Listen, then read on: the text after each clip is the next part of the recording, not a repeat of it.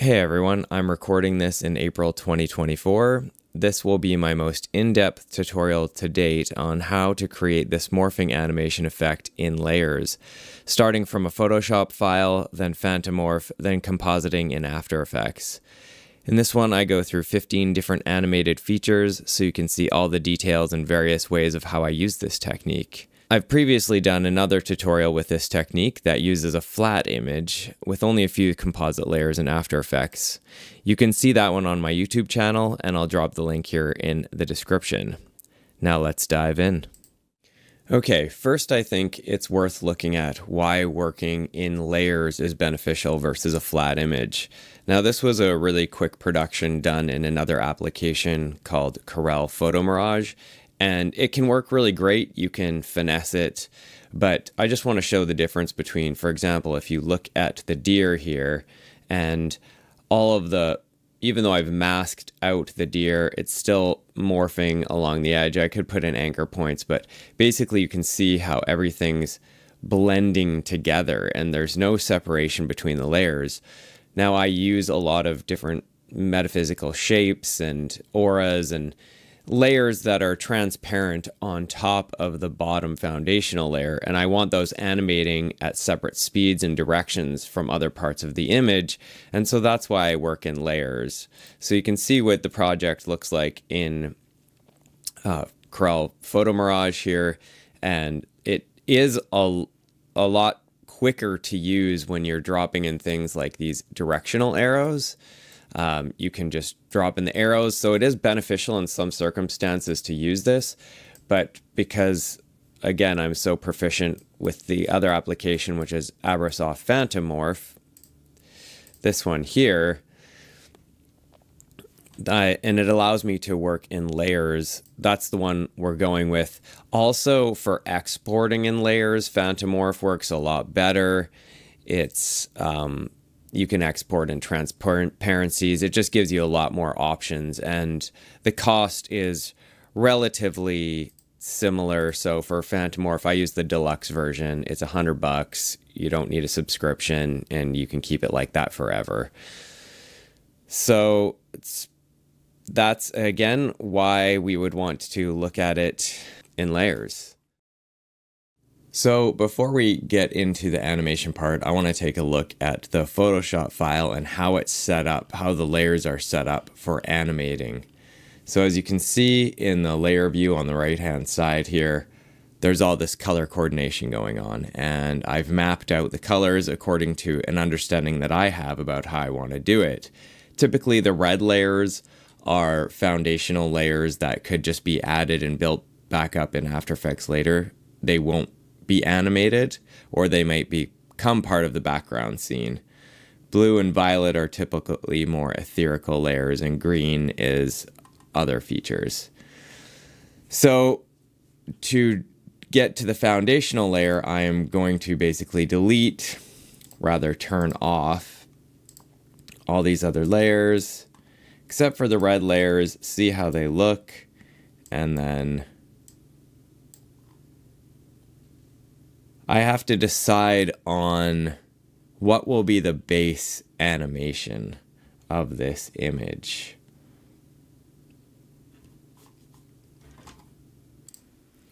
Okay, so you can see here I've stripped it down to almost entirely the foundational base painting layer, but there are a few layers on top. I actually might even just turn that one off. Basically, the idea is to get anything out of the way of what would be your foundational animation. So I have all these fractal lines on the trees, and those are going to be the direction that is going to be animated on the trees. And so I'll go through that process for each different layer type. Now I'm just going to jump to the folder to show you where I've already done that. So for example, here's a foundational layer where I've put directional arrows of where I want to animate. Now you can see there's a bit of difference between this one and this Photoshop ver this this version of Photoshop and that's because I hadn't even actually done this one totally correctly. So sometimes after doing the arrows I'll come back in and adjust it. And then you can see in this folder I'll just go through and you can see that I've separated a lot of the different layers and I've put directional arrows and some instructions of how I want to do it. Now anything on a back black background like this will typically have a screen layer, meaning I can use the black background to my advantage for animating. It makes it a bit more easier to see, and then it will just be a screen blending mode in After Effects. Some of them have to have multiple output layers where there's actually an alpha layer and and a black uh, background layer so I can see how to animate it. So for example, this one, you can see the checkerboard background that has an alpha channel to it. So when I get to animating that feature, it will make more sense. And also just note that you can see it's kind of a bit hard to tell. I'll go back to the image, but there's extra, there's actually extra around this because what I've learned is to adapt for especially um, features that are along the edge. If I want them to continue animating off screen, you have to give more of a border. So you can see this hard line along the bottom. So I've actually cropped this out to have more border. I used to just do every single image as though it was the entire scene, but really that actually takes up a lot of extra space, especially with the animation output. This is a 5000 pixel wide image, and it's good to start in the highest resolution possible. Uh, I'm just going to go back to that. Okay, so those ones there on the ground that I just turned on, see how they're on the edge? And then when I go back to this and I preview this, you can see again that that's on the edge. And I actually have a few different versions of it that I will be animating. So you have to export each layer and an understanding of how you're going to build the layers back up in After Effects. And again, this will make more sense as I go along. So now after checking out all the layers in Photoshop, I'm going to jump to the end of the project to show you what it looks like in After Effects with all the layers built up. And then as you're going through the animation, hopefully it will make more sense what the endpoint is actually going to be. So I originally often start off with a two second loop. And so this first composition in After Effects is two seconds. And then I pre-comp some of that and bring it into a four second loop. So some of the features are animating within a four second loop.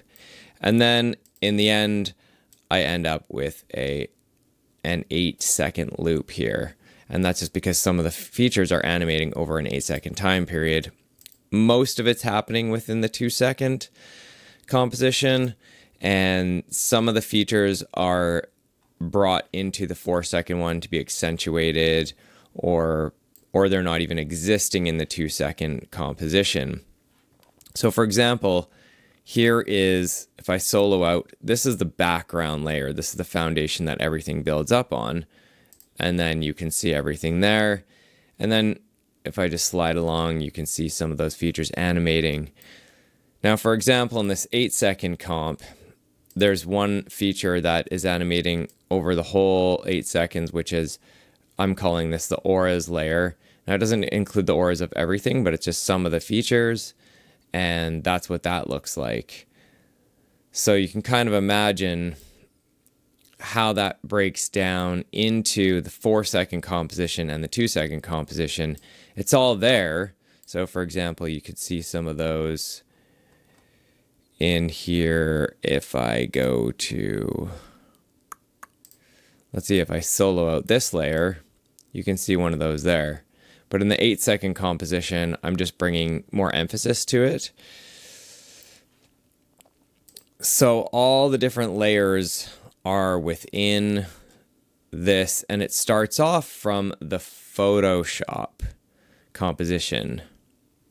Now I'm going to go back into animating the very first layer, which is the foundational layer. I'm going to start there and then I'll start to explain more about how this After Effects composition is built up as this tutorial goes along.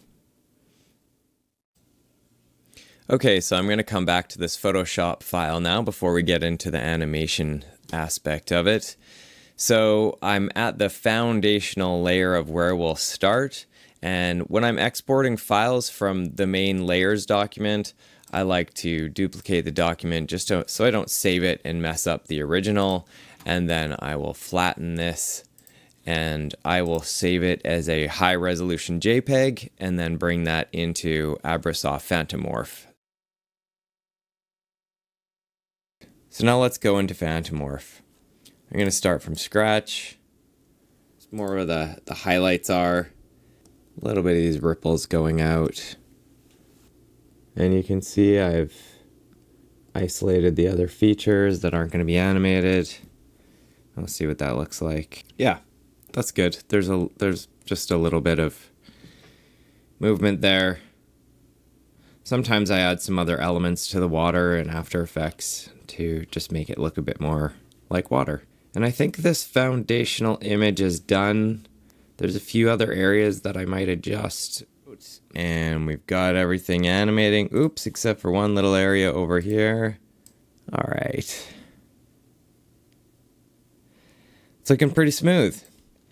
So now let's dive into something more complex. This is these are kind of more the the most complex feature of my animations. I usually use hexagons in all the images. And this one's going to be a doozy. Going with these. And if I encounter any other difficult areas, I'll show you what that looks like. Like see here, the, there's these overlapping ones. It's really just about choosing which way for it to go. And with these, again, if it's if if it's kind of I generally try to follow some kind of direction that there it's either rippling out or inwards. And it gets a little kind of complicated uh, doing the animation.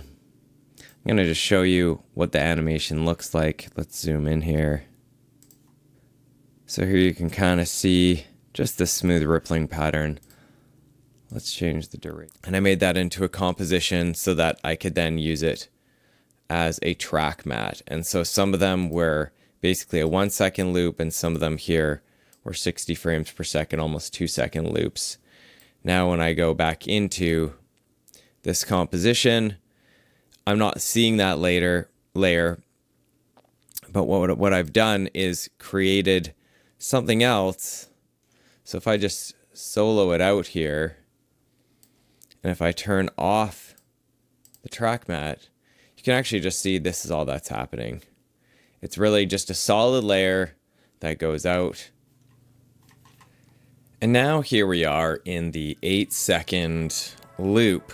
So what I've done is taken the four second loop, stacked it a couple times, made the composition a bit longer just in case I wanted to play with that, but decided to keep it around eight seconds.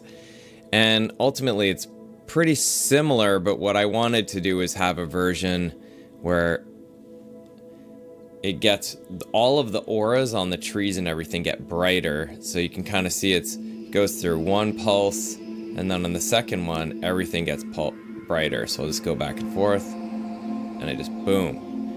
And then it goes back, and it, so it just loops in that.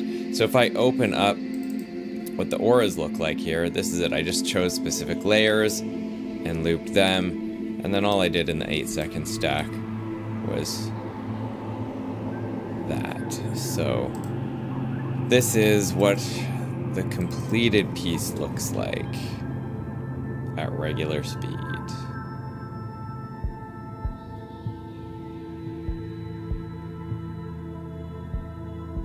I ended up adding a bit of a so there is a subtle pulse that goes the same as the radials around the deer coming out from the sort of sun in the center there, but it's a bit more subtle. And then also on this eight second loop, these amanita mushrooms down here also glow. So it's all the sort of geometrical auras and then the mushrooms.